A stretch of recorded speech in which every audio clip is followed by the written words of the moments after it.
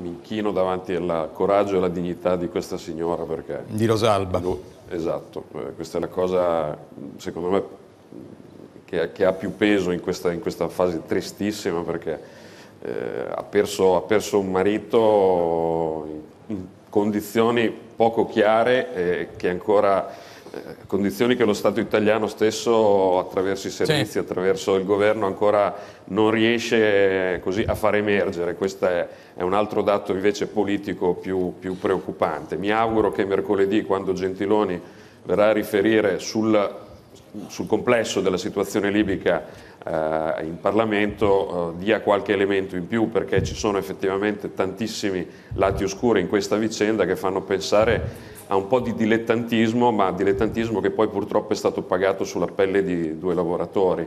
E non è accettabile che il Presidente del Consiglio dica eh, non dovevate essere lì, cioè, stiamo parlando di persone che operano con eh, aziende eh, mm. che, hanno, che, hanno, tutta una serie di, diciamo così, di regole di ingaggio molto ben chiare, specifiche, che eh, mettono a punto proprio con il governo stesso per poter essere presenti su quel territorio, adesso che il Presidente del Consiglio dica cosa ci facevano lì, eh, lascia, insomma, dà la misura del, del, del, del gran cialtrone qual è nel gestire cose così delicate.